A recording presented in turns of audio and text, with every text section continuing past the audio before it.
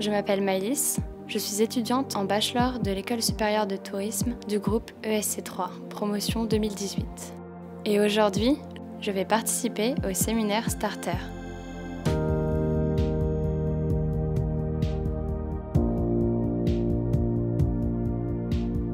Les professeurs sont arrivés pour euh, nous expliquer le thème sur lequel on allait travailler pendant ces deux jours. L'objectif, ça a été de produire sur différents supports ce qu'était pour nous euh, le travail de demain. On a eu à faire trois présentations. Une première euh, en s'inspirant simplement des mots. Une deuxième qui a été beaucoup plus artistique, donc avec des structures, des dessins, etc.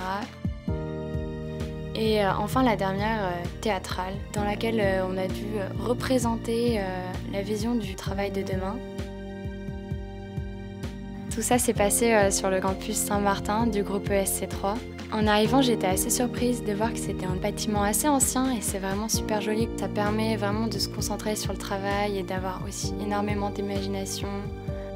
Quand je suis arrivée, je connaissais qu'une seule personne, c'est ma meilleure amie. Et au séminaire Starter, j'ai pu rencontrer beaucoup de personnes avec qui maintenant euh, je passe des super moments. Et ça m'a permis euh, de pouvoir m'exprimer parce qu'au début j'étais un petit peu renfermée sur moi-même, je n'osais pas trop aller vers les gens. Et on se rend compte rapidement qu'en fait en travaillant sur le même sujet on peut facilement se faire des amis. On est passé devant les directrices des trois programmes bachelor du groupe ESC3. C'était vraiment pas comme un examen, c'était plus un partage dans lequel nous on produisait quelque chose et en échange euh, elles nous donnaient leur ressenti, elles nous apportaient leurs connaissances et j'ai vraiment trouvé ça super de pouvoir être évaluée de cette manière.